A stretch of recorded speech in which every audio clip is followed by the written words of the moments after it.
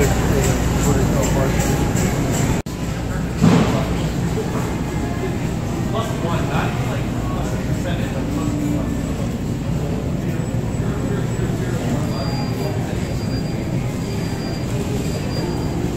mostly no candy.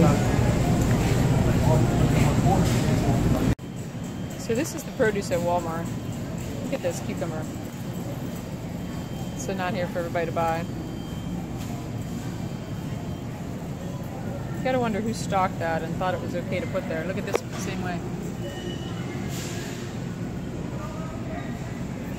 Just nasty, rotten.